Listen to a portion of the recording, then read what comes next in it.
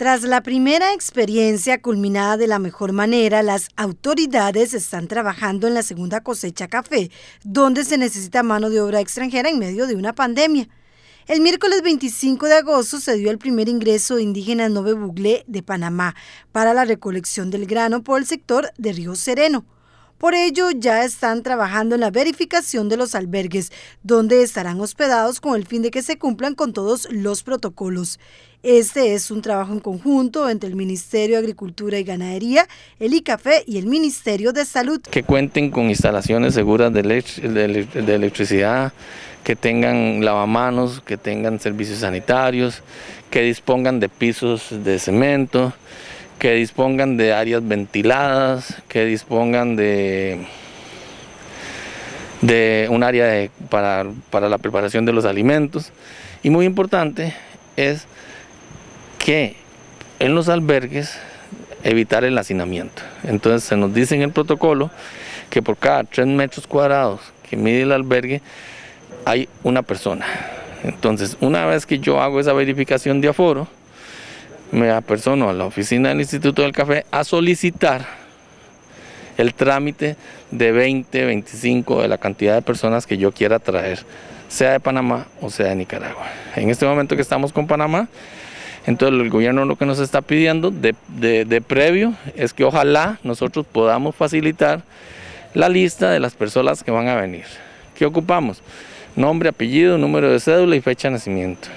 Con estos datos por día pueden pasar 150 personas por las aduanas. Con ese dato, más la verificación de aforos, más los datos del productor de la finca, se le envía la solicitud al Ministerio de Trabajo y ellos tramitan una recomendación que se llama. Esa recomendación nosotros la compartimos con las autoridades sanitarias de Panamá, con el MINSA y con las autoridades sanitarias de Costa Rica en la frontera de Río, Sereno y empieza, el trámite. entonces, ya tenemos comunicación con Panamá, comunicación con autoridades locales, ya tenemos los datos que nos solicita el gobierno y lo que hacemos es coordinar con las diferentes oficinas del Ministerio de, perdón, del Instituto del Café, qué día voy a traer yo mi grupo. ¿Por qué?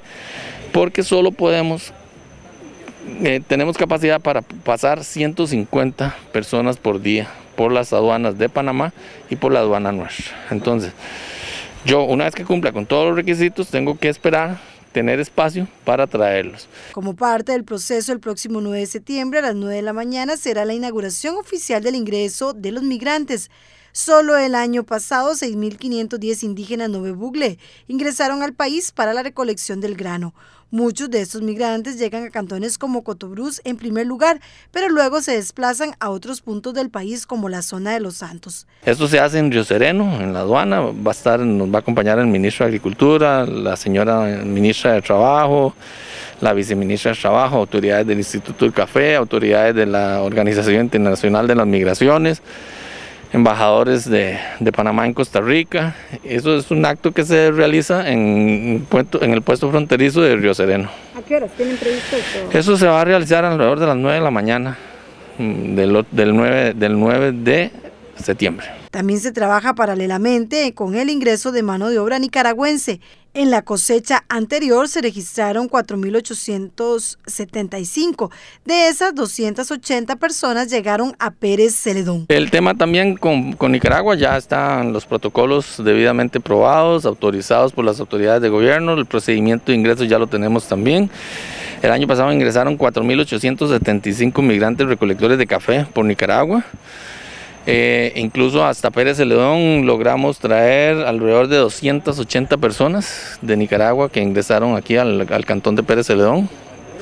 Entonces eh, ya está listo todos los procedimientos y protocolos, lo único es que por Nicaragua la diferencia es que esta gran mayoría ingresa para atender básicamente cantones de una maduración más tardía por lo que el proceso esperamos nosotros estar iniciando en octubre más o menos el proceso de ingreso por Nicaragua. Con esos procesos lo que quieren es darle seguridad a las personas que vienen y que se les facilite también al productor. Aquí lo importante es que estemos comunicados. Esto no es para, para ponerle trabas al productor, esto es para ayudarnos, esto es para facilitarnos incluso, esto es para darle una seguridad también a los recolectores que vienen. Entonces yo lo que les recomiendo es acercarse a las oficinas de Copeagri o a las oficinas del Instituto del Café y ahí les vamos a dar toda la información que necesitan para que el proceso de ingreso de migrantes sea para el productor lo más sencillo posible. En este caso Pérez León, en el caso de Cotobruz.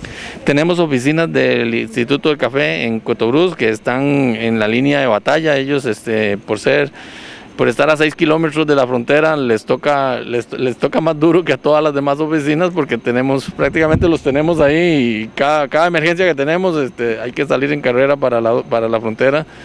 Pero sí, allá es con, con nuestra oficina también de, del instituto en Cotoruz. Las autoridades están trabajando para que los diferentes protocolos se cumplan y que la actividad cafetalera no se vea afectada.